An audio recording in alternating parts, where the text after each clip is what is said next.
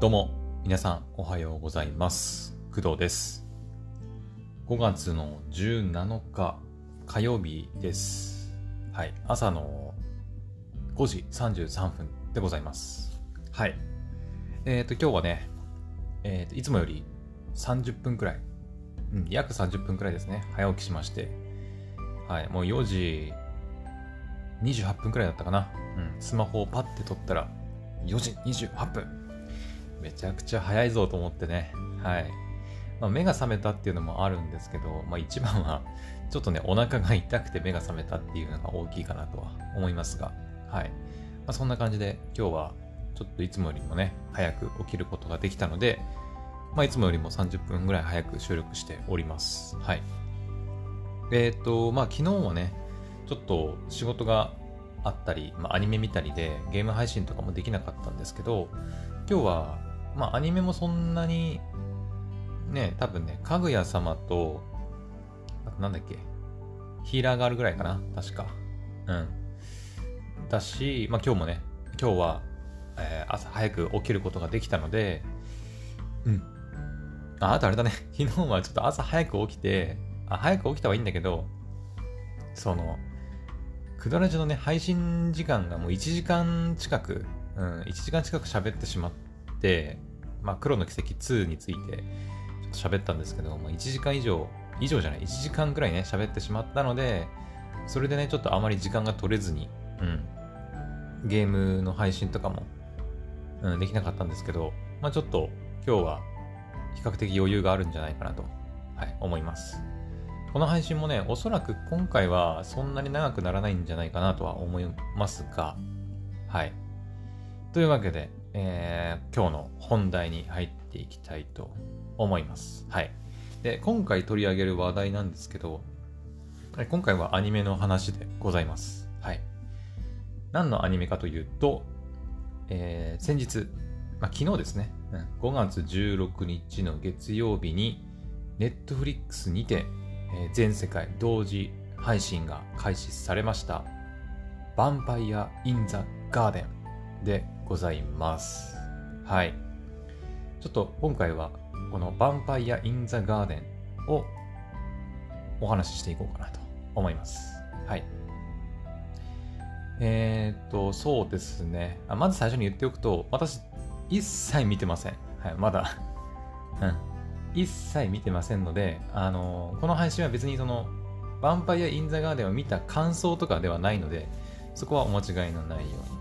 はい。まあ、その点で言えば、まあ、ネタバレとかはないので、まあ、安心して聞いてもらえたらいいかなと思います。はい。私も何にも知らないので、うん。えっ、とね、まあ、知ってるといえば、うん、そうだな。そもそもこの作品を知ったのは、去年かな。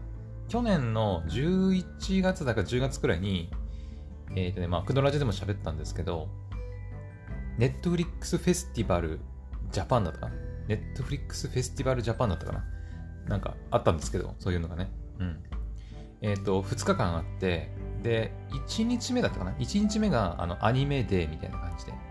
で、2日目が、えー実写作品デーみたいな感じになってて、で、1日目のそのアニメデーっていうのは、ネットフリックスが、えー現在進行形で配信しているアニメ作品だったり、あとはまあ2000、当時のね、2021年のまあ10月、11月以降、これから作ろうとしている作品についてだったり、はい。まあ、今後ね、ネットフリックスがどんどんアニメに力を入れていきますよ、みたいな、あの、催しが、はい、発表会があったわけですよ。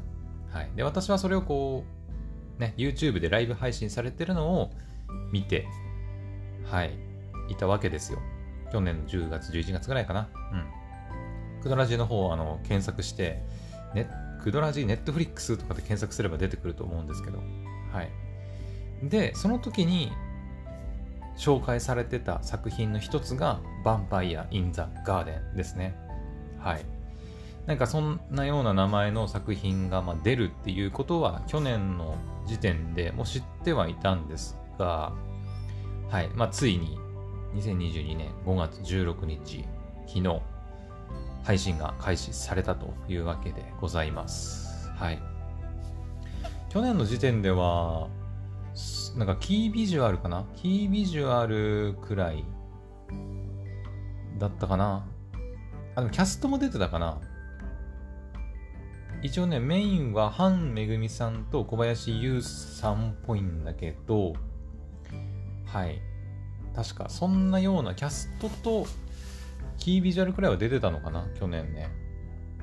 うん。まあ、それぐらいで、あれ、映像も出てたかな一応ね、YouTube とか多分検索すると、その PV とか、あの、ティザーミムービーみたいな出てくるのかなうん。出てくると思うんですが、私はね、そういうのも一切見てない状態。今結構まだ真っ白な状態ですね。はい。なので、まあ今日は、その、ね、いろいろ情報を見ていきながら、まあ、ヴァンパイア・イン・ザ・ガーデンでどんな作品なんだろうっていうのをちょっと、いろいろ妄想していこうかなという回でございます。はい。本当に何も知らないので、はい。って感じですね。はい。えっ、ー、と、そうだね。でね、あの、探したんだけどね、公式サイトっていうのが存在しないんですよ。このヴァンパイア・イン・ザ・ガーデン。はい。まあ、Netflix のオリジナルアニメーションっていうことで間違いはないと思うんですが、うん、あの公式サイトとなるものが特に存在しないので、公式サイト見ていって、そのキャラクター情報とか、あ、なんだ、なんかエピ、イントロダクションとかね、見ていきたいところではあるんですが、まあ、ちょっと公式サイトがないので、今回は公式の Twitter とか、あとはね、これなんだっけ？えー、っと、まあ、アニメ関連のニュースを取り上げてるネット記事なんかを参考にしながら、はい、ちょっといろいろ見ていこうかなと思います。はい。そうだな。じゃあまず一番最初何から？やっぱ最初は Netflix の公式の、公式っていうか、Netflix のその視聴ページの方からちょっと見ていこうか。うん。まあ、Netflix を開いて、えー、ヴァンパイア・イン・ザ・ガーデンの、まあ、視聴ページを開くとさ、エピソードがずらっと出てくる画面があると思うんですけど、まあ、そこをちょっと見ていきます。はい。えー、っと、そうだね。まあ、予告編の動画なんかも、はい、あったりはしますが、まあ、タイトルはね、ヴァンパイア・イン・ザ・ガーデンとなってます。まあ、さっきから言ってますけどね。はい。まあちょっとね、あの、この名前聞くと バイオレット・エヴァーガーデンがちょっと思い起こされるんですけど、私はね。うん。まあ、ガーデンしか合ってないかな。バイオレット・エヴァガーデン。うんだね。うん。最後がガーデンだから余計になんか、ね。ん？ヴァンパイア・イン・ザ・ガーデンん？みたいなね。感じがしてしまうんですが、まあ、特に関係はないと思います。はい。えー、っと、そうだね。でシーズン1が今、配信されてて、シーズン2があるのかはわからないんですけど、うん。シーズン1を今すぐ見ようとありまして、で、ここがイントロダクション的なやつかな。まあ、ちょっとした感じで書いてますけど、え厳しい寒さとヴァンパイアの脅威に直面する人類が音楽を禁忌としながら壁に囲まれた都市で暮らす世界を舞台にしたアクション満載のダークファンタジーと書いてあります。はい。まあ、ヴァンパイア・イン・ザ・ガーデンってタイトルがついてるぐらいなんで、まあ、ヴァンパイアが出てくるのはまあ当然なんだろうけど、うん。ヴァンパイアの脅威に直面する。なるほど、そうか。だから人類は、あのね、まあ、この後言いますけど、この作品、そのウィットスタジオがね、はい、手掛けているそうなんですが、ウィットスタジオとプロダクション IG なのかな？ネットで見ると、まあ、ウィットスタジオの最新作みたいな、ね、まあ、この前もその、バブルっていうね、えー、ネットフリックスのオリジナルアニメーション映画があって、まあ、それもウィットスタジオだったりしていて、まあ、結構最近、ウィットスタジオはネットフリックスとつながりが強いのかな。うん。まあ、去年のそのね、ネットフリックスジャパンフェスティバルでも、ウィットスタジオの人と、えー、ネットフリックスの人が、あと、まあ、えー、ジャンププラスだったかな？の、なんか、編集部のなんかね、人交えて、男3人で対談するみたいな、あれもありましたが、今結構ウィットスタジオってネットフリックスとのつながりが強いのかもしれないですね。うん。まあ、そんなあのウィットスタジオがね、まあ、手がけているということなんで、あの、ね、壁に囲まれた都市とか言われると完全に進撃の巨人をちょっと思い出すんですけど。うん。あ、でもあれか。今、進撃の巨人って、あれビットスタジオじゃないんだっけ？マッパさんだっけ？今。確か。違ったっけ？まあ、とりあえず今回はマッパさんは関係ないんだけど、まあ、そんな、あの、進撃の巨人のように壁の、壁に囲まれた都市で暮らしていると。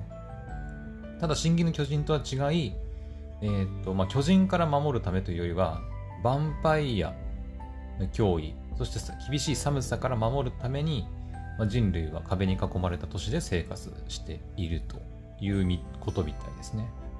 はい。まあ、それで、えー、シーズン1が始まるわけですが、で、あの、まあ、一つ気になる点が、まあ、いくつか、いくつかっていうか、うん、全然見てないからね、気になる点ばっかりなんですけど、これね、エピソードがね、今ね、5話までしか公開されてないんですよ。うん。これが謎。謎です。はい。まあ、アニメーション映画ではないんだけど、長さ的には映画と同じぐらいかなと思いますね。うん。だって30分ぐらいだよね、大体ね。30分ないぐらいののエピソードが5つなので、まあ、大体2時間半あるかないかぐらいですよね。時間半ないよね。だってね。30分、24分、25分、25分、26分だもんね。2時間半ないくらいなんで、まあ、本当に、ね、ちょっと長めの映画を、まあ、1本見るぐらいの長さで見れてしまうということですから、まあ、アニメーション映画ととっても、あの、まあ、差し障りないんじゃないかなと。うん。まあ、5つに分けてあるってだけで、長さはもう映画そのものって感じですね。はい。だからテレビアニメ、違う、テレビアニメ？うん。アニメシリーズとしてはまあ半分以下の長さなんで、ちょっと物足りないかもしれないですけど、まあ、映画としては少し見応えのある量なのかなとは思いますね。はい。うん。アニメーション映画で2時間超えるってあんまりないと思うんだよね。だいたい1時間弱ぐらい。違う違う、2時間弱か、2時間弱。だから1時間いかないぐらい、40、1時間40分とか、うん、1時間45分とかが大体アニメーション映画の、その、長さかな？ななんとなく経験で言うと。で、2時間とか、えー、2時間以上、2時間半、それこそ2時間半近い作品ってあんまりなないと思ってて、うんまあ、ジブリのね、あの、もののけ姫とか、あれって3時間ぐらいあるんじゃなかったっけ？確かね。うん、とか、たまにすごい長編のね、長い映画、アニメーション映画ってたまにありますけど、まあ、まりね、うん、アニメーション映画見てて2時間超えてくる作品ってそんなないと思うんだけど、まあ、ヴァンパイア・イン・ザ・ガーデンを一つのアニメーション映画と捉えるんであれば結構長編じゃあ長編ですね。うん。まあ、アニメ、普通のアニメと捉えれば5話しかないっていう感覚なんですけど。うん。まあ、だから、そうだね。私みたいにアニメに 毎日ね、浸ってるような人間からすると、あの、ちょっと物足りないのかなって思ったりはするけど、まあ、あまりは普段からアニメに触れる人じゃないのであれば、まあ、5話くらいがちょうどいいのかなとは思いますけどね。うん。うん。ね、まあ、ショートアニメとかも今流行ったりしてますけど、まあ、ちょっと気晴らしにアニメ見ようかなっていう時に、パッて開いたら 全部で20何話とかってあると、えー、どうしよっかなって思う人もまあいるとは思うんだよね。うん。だからパッて開いた時に、あ、5話しかないんだったら、まあちょっとずつでも見ればね、全部見切れるんじゃないかなという人もいると思うので、まあ、うん、いいんじゃないかなと思いますけど。はい。まあ、シーズン1って書いてるのは、まあど、うなんだろう。シーズン2があるのかないのかわかんないですけどね。うん。まあ、ネットフリックス基本的にシーズン2があろうがなかろうが、基本ね、始まった時は大体シーズン1って書いてると思うので、まあ、あまりシーズン2があるっていうのを期待してもしょうがないとは思いますが。はい。んで、えー、っと、キャストは、えー、ハンめぐみさん、小林優さん。これなんて言うんだっけ？小林千秋さんかな？ちょっと待って。なんか見たことあるな。えー、千秋さんかなですね、小林千秋さん。見たことはあるけど、何や、何の声優さんやってる人だろうね。デビュー作は Just Because。なるほど。えー、出てたんだ。とか、あとは、深見理香さんかな。うん、多分。あとは、トーチさんだね。トーチさんは、うん、誰って言えばわかるんだろう。最近あんまり、トーチひろきさんだっけ？ですね。とかが、はい、出演しているみたいです。まあメインはおそらくハンめぐみさんと小林優さんかな。どっちがヴァンパイアなんだろう。おそらくどちらかがヴァンパイアで、どちらかがまあ、なんだろう、主人、人間の主人公的なキャラなんじゃないかな。うん。ハンめぐみさんと小林優さんでしょ？どっちだろう？一番先頭に来てるのがハンめぐみさんなんだよね。小林優さん。そうだなどっちだろう？全然あの、私知らないからね。全然あの、どっちがどん、あの、ヴァンパイアでどっちが人間とかもわかんないし、もしかしたらどっちもヴァンパイアっていう可能性もね、あるとは思うけど、まあ、どっちでしょう。はい。ジャンルは国内、テレビアニメ、SF、ファンタジーアニメ、ドラマアニメ、アクションアニメ。この作品はダーク、感情を揺さぶる。あ、年齢制限がついてますね、これね。15歳未満の未成年者の視聴は推奨しません。だそうです。ってことは結構グロ、まあ、ね、あの、ネットフリックスの、まあ、そのサムネというか、まあ、ちらっとちょっと、このサムネってなんか人によって違うらしいんですけど、今私が見てる画面にはね、まあ、おそらくヴァンパイアと思うおぼしき、えっ、ー、と、白い髪の毛のキャラクターが、あの、ニカーって笑ってる、あの、場面がね、私の今パソコンの画面に映ってるんですけど、あの、思いっきり口から血垂らしてるんで、まあ、ねヴァンパイアの脅脅威にさらされてるって言ってるからまあ、おそらく人間を食らうんだと思うんだけどね。うん。結構そういう、ちょっと、刺激の強いシーンもあったりするのかな。はい。ですね。まあ、なので15歳未満の未成年者の視聴は、まあ、推奨しませんなので見ちゃいけないとは書いてないですけど、はい。まあ、ちょっとね、お子さんがそういうのを見たいとか言った場合は、ちょっと親御さんはね、注意しなきゃいけないのかなとは思います。はい。まあ、そんなところですかね。とりあえず、この公式の Netflix のページから見れるのは。はい。うんまあ、一応ね、エピソードの説明とかも、それぞれエピソード1から5まであ書いてありますが、まあ、ここはね、まあ、ちょっとネタバレになる可能性もあるので、今今はあまり読まないようにしましょう。えー、で、じゃあちょっと公式の Twitter の方を見ていきましょうか。うん。えー、公式ヴァンパイア・イン・ザ・ガーデン、あと5月16日に配信開始ですね。えー、モモとヴァンパイアの女王、フィーネ。二人の出会いが世界を大きく動かしていく。なるほど。人間はモモ。まあ、女性ですよね。おそらくさっきその、ハンめぐみさんと小林優さんって言ったから、うん。どっちがモモでどっちがフィーネかちょっと私、あの、キャストがね、うん。さっき、あのー、白い髪の毛のヴァンパイアとかって言いましたが、おそらくそれがフィーネなのかな？違うのかな？どうなんだろう？うん。公式ツイッターのアイコンになってるのが多分、あれですね。左側の、まあ、茶髪の子がモモ。右側の白髪の、おそらくヴァンパイアののキャラクターが女王、フィーネ。ヴァンパイアの女王なんだね。うん。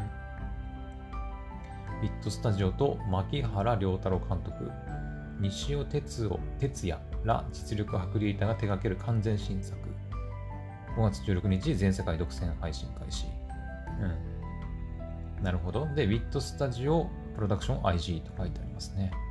うんうんうん。キャラデザ創作画監督は西尾哲也さん。うん。なんかこのイラスト見たことあるんだよな。このデザインというか。キャラデザなんだっけ？なんか見たことあるんだよな。この目の形かな？ななんだろう。えっ、ー、とねな、なんだっけな。なんかの作品で見たことあるような気がするんだよな。広角機動隊じゃないし、まあね、プロダクション IG がてあのね、携わ、ちょっと携わってるっぽいんで、まあ、広角機動隊とかにちょっと似てる部分もあんのかな。うん。なんかキービジュアル的なやつね、ちょっと今見てるんだけど、なんとなくね、まあ、広角機動隊のような、ちょっと近未来感的なものをね、ちょっと感じるぐらい。うん。ビットスタジオね。ネットフリアニメニュース。ウィットスタジオ最新作人気作品の続編が登場。あ、まあこれはいいか。今ね、ツイッターをね、こう、下の方にこうスクロールしていって、チラチラーって見てるんですけど。あ、あの、ツイッターの中で、つぶやきの中で、えっ、ー、と、ハンめぐみ様を桃役みたいですね。ということは、小林優さんがヴァンパイアの女王のフィーネだっけ？ってことか。なるほど。角間さんが、なんかツイートしてるな。角間さんは、ヴァンパイア・イン・ザ・ガーデンでミラナの声優さんが。なるほど。モモの大切な友人役。ミラナ、CV 角間愛。モモと同じ士官学校に通う少女。モモとは幼馴染であり、お互いに何でも話せて秘密を共有し合える中、モモと同じく音楽に少し興味を持っている。そういえばなんか音楽がキンキンになってるみたいなこと言ってたね。そういえば。あれ何なんだろうなんか意味があんのかな音楽。うん。そして士官学校に通ってんの？士官学校ってことは要は軍人になるための学校ってことだよね。ね、そういうことだよね。モモは軍人になるべく士官学校に通っている。まあその同僚がミラーナってことか。はあ。あれかな？だからヴァンパイアの脅威にさらされてるから、そのヴァンパイアと戦うための、まあ、軍隊ってことなのかな。うん。その士官学校に通うモモが、まあ、ヴァンパイアの女王、まあ、実質敵のボスだと思うんだけど、うん。まあ、敵のボスと出会うことで何かこう世界が変わっていくっていうお話なのかな？はい。いや、どんな話なんだろうね。ヴァンパイアインザガンで100年以上続く。100年以上続く人間とヴァンパイアとの戦争で抑圧された世界。人間のモモはヴァンパイアのフィーネと出会い、かつて存在したという楽園を探す旅に出る。楽園を探しに出かける。はあ、楽園。まあね、あのー、さっきね、その、閉ざされた世界、壁に囲まれた世界で、まあ、暮らしてるってね、言ってましたけど、そこを出て、行くってことか。楽園。それとやっぱなんか音楽が関係あるんだろうね。何か。あんまりヴァンパイアと音楽ってそんなになんかうーん、なんかあったかな、そういうキーワードっていうか。そのね、あの、前のバブルとかはさ、まあ、人魚姫とかって、ね、人魚姫をモチーフにしてるっていう話があって、まあ、人魚姫といえばね、歌を歌うようなイメージがあったりするので、まあ、音楽と言われてもなんかちょっとこうピンとくる部分があるんだけど、ヴァンパイアで音楽って聞いてもなんか、ん？っていうね、感じもするんですが、まあ、ハン・メグミさん、あのまあ、主人公の桃役のハン・メグミさんって結構歌うまい方ですよね、確かね。うん。あ、サントラもうすでに配信されてるのか。ん？かな？5月25日水曜日。あ、違う、まだだ。ごめんなさい今日5月17だったわ。うん。えー、っと、5月25日の水曜日にサントラが全世界で先行配信が決定してるみたいです。はい。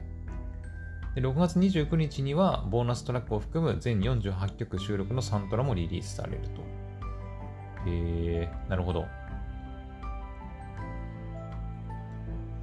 なるほど、なるほど。5月16日の16時から、日本時間の16時から配信されてたんですね。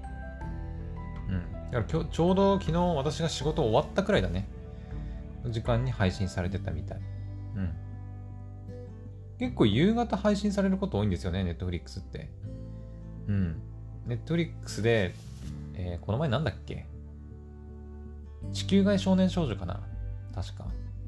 うん。ネットフリックスで配信されるって言って、ずっと待ちわびてたんだけど、その日にね、あの、まだかな、まだかなって何度も更新してね、待ってたんだけど、全然、あの、更新されることがなくて、いつになったら更新されるんだろうと思ってたら、結構夕方になってから更新されるっていうね。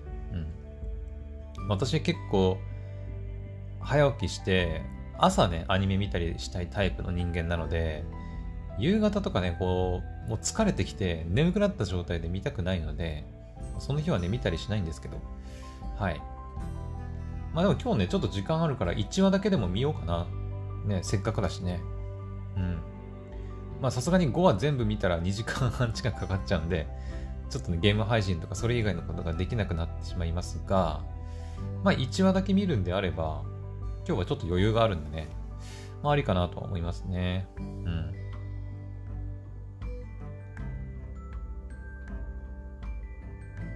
作曲家の人のツイートかこれ。難産だったので感激ひとしお。映像も綺麗でいろんな曲が聴ける作品になってると。うん。だから結構音楽も力入れてるってことなんかな。ねさっき音楽キンキンになってるって言ったけど、だから、キンキンになってるからこそ、そこでね、なんか流れるであろう音楽にはちょっと注目したいところですね。うん。あとはまあ単純にだから WIT スタジオとかプロダクション IG が手掛けるアニメーションなので、アクションも満載ということでしたし、うん。まあその辺は期待してもいいんじゃないかなと。映像美というか、アニメーションの綺麗さは結構期待してもいいんじゃないかなと思いますね。はい、楽しみですね。まあそんなところですかね。まあこれ以上ツイッターを、あの、ね、深掘って言ってもあれかな。はい。という感じで、じゃあ最後にね、えー、っと、アニメのネット記事の方をちょっと見ていこうかな。ちらっとね。あでも書いてることは同じかな。うん、ヴァンパイア・イン・ザ・ガーデンの配信が5月16日にスタート。今回は新たに本編映像が公開。人間とヴァンパイアが対立様子が確認できるとか。えー、ヴァンパイア・イン・ザ・ガーデンはウィットスタジオが手掛ける完全新作アニメ。監督は春や、あ、死者の帝国の監督なんだ。なるほどね。はいはいはい。あそういうことか。キャラクターデザイン、ナルトの西尾哲也さんなんだ。ちょっと私はあまりにキャラクターデザインの方とかはあんまり名前ちょっとね存じ上げないんですけど、なるほど。キャラデザの西尾哲也さんっていう人は、ナルトのキャラデザをやってる人らしい。なんか通りで見たことあると、そうだ、ナルトだ。そう、目の形がね、ナルトなんですよ。うん、そうだそうだ。ナルトだわ。ちょっとナルト、ナルトってわかるよね、みんなね。あの、ジャンプの。ナルト。そうだそうだ。なんか雰囲気な、そうだね。どっかで見たことあると思ったら、ナルトだ。うん。ナルトの敵キャラに、が近いのかな？なんかね、目がね、なんかそういうキャラいるよなっていう。はいはい、なるほど。なんか納得感あるわ。はい。で、監督は、春ってなんだっけ、映画。春？多分見たことあると思うんだけどね。ちょっと待って。映画。春？これアニメ映画だよね。春？あー、はいはいはい。あ、これか。見たことある。あれですよね。あの、日笠陽子さんが、えー、っとエ、エンディングだっけ？歌ってるやつですよね。えー、っと、なんだっけな？えー、なんだっけ？どっちだっけ？男だか女だかど、どっちかがね、なんかアンドロイドみたいな話なんだよね。確か。はい。そうそうそうそう。見た見た。これいつの映画だだって？2013年。あ、これウィットスタジオ制作だったんだ。知らなかった。当時あんまりそこまでね、制作会社とか気にしてみたことなかったんですけど。なるほどね。あ、フラクタルとか、あ、ギルティクラウンの監督でもあるんだね。あ、違う、監督じゃない。ギルティクラウンなどで演出と絵コンテを担当したら牧原良太郎。なるほど。うーん、牧原良太郎さんってそういうのを作ってるんだね。はいはいはいはい。懐かしい春。え、2013年。かれこれ9年前ってことか。あ、でもそんなもんか。もうちょっと前のような気がしてたけど。うん。見たことあります。ラブストーリーですよね。春ってね。はい。あとは死者の帝国に関しては、あれですね。えっ、ー、と、なんだっけ。えっ、ー、と、エゴイストがさ、えー、まあ私、エゴイストってアーティスト大好きなんですけど、言ったことあったかな？うん。それこそ、ウィットスタジオが手掛ける、えっ、と、カバネリとか、ね、のオープニング担当してる、あのエゴイストさんですけど、エゴイストさんが、えっ、と、また曲を担当している、死者の帝国っていうね、アニメがあって、まあ、えっ、とね、あれって、なんだっけ、早く、すごいね、早くいなくなったね、溶接の作家、えー、なんだっけ、名前なんだっけ、溶接の作家、な、あなんだっけ、名前出てこない。ちょっと待って、死者の帝国でしょ。やばい、ちょっと話がちっちゃがめっちゃかになってるけど、えー、死者の帝国、そうそうそう。死者の帝国は、伊藤計画さんだ。伊藤計画さんのあの小説を元にした、はい、プロジェクト伊藤、プロジェクト伊藤の、えー、っと、作品の一つですね。うん。えー、っとね、死者の帝国、えー、虐殺機関、ハーモニーですね。アニメの順番としては確か死者の帝国が出て、ハーモニーが出て、確か虐殺機関だったかな。虐殺期間はね、あの、ちょっといろいろあってね、結構出るの遅かったんですけど、うん、一応ちゃんと全部出たはずですね。はい。で、その3作品全部エゴイストがね、曲を担当したりとかしてるっていう、うん、感じですね。どれもいい曲なんですよ。死者の帝国の曲はね、なんだっけ？えー、名前が出てこない。え、ハーモニーはね、ゴーストじゃなかった？確か。で、虐殺期間は、リローデッドだったかな？死者の帝国の名前なんだっけ？ドアかな？ドア。うん。確か。死者の帝国がドア、エゴイストのね。で、ハーモニーが、えー、ゴースト。で、虐殺機関が、えー、リローデッドだった気がします。懐かしいな。ね。あのー、まあ、そもそもがね、その伊藤計画さんっていう人の、まあ、小説で、あのね、ものすごく難しいんだよね。うん、難しい。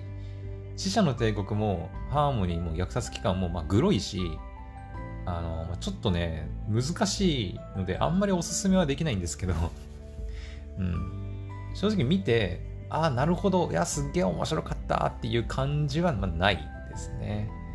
うん、正直言うと。うん。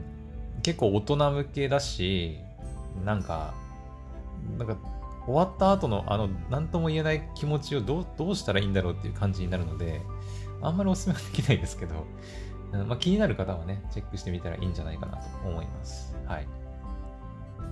というわけで、まあ、ちょっとお話戻しますけど、まあ、そんなね、死者の帝国だったり、春とかを手掛けた、まあ、牧原良太郎監督。で、キャラデザはナルトの西尾哲也さんを加えて、加えて迎えて、人間とヴァンパイアの間で100年以上も戦争が続く世界を表現したと。うんうん。で、本編映像では戦争の辛い日々に耐えきれなくなった人間のモモが登場。もう嫌だ、ここから逃げ出したいと涙を流しながら家を飛び出し、警報が鳴り響く街をさまようシーンが映し出されている。彼女がヴァンパイアの女王フィーネと出会い、ヴァンパイアと人間が争わずに生きていける存在するかもしわからない楽園を探す旅に出る。はあ。この抑圧された世界をどのように変えていくのだろうか。桃役はファンめぐみさん。ヴァンパイアの女王フィーネ役は小林優さんが担当。バトルシーンもあり人間とヴァンパイアの血みどろの戦闘が描かれている壮大な物語の幕開けを予感させる。なるほどね。だから、その、主人公のモモは、その、まあ、辛い日々に耐えきれなくなって家を飛び出して、まあ、そこで、まあ、ヴァンパイアの女王フィーネと出会って、で、ヴァンパイアの女王自身は、まあ、に、うんと、なんていうか、人間と争うことを別に望んでるわけではなくて、人間と争わずに生きていける世界を望んでいて、でそんな二人が、そういう楽園があるのかどうかもわからない場所を目指して旅に出るっていうお話らしい。うーん、なるほどね。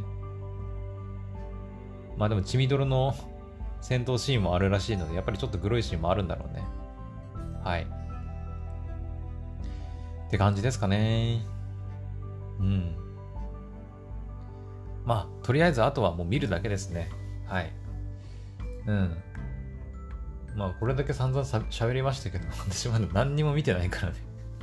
うん。まあ、情報、出てる情報をちょっとチラチラって見ただけで、まだ何にも見てないので、はい。まあ、これからね、まあ、全部で5話ありますので、見ていこうと思います。はい。さっきも言いましたが、とりあえず今日1話ぐらいは見てみようかなとは思っております。うん。皆さんも良ければ、はい。Netflix 契約してる方は、Netflix で視聴してみたらいいんじゃないかなと思います。まあそんな感じですかね。はい。というわけで、えー、今回は Netflix で先日、昨日配信されたばっかりのアニメーション作品、ヴァンパイア・イン・ザ・ガーデンについて話してみました。はい。はい、本当に楽しみですね。はい。というわけで、えー、今回はここまでにしたいと思います。それでは、また次の配信でお会いしましょう。バイバイ。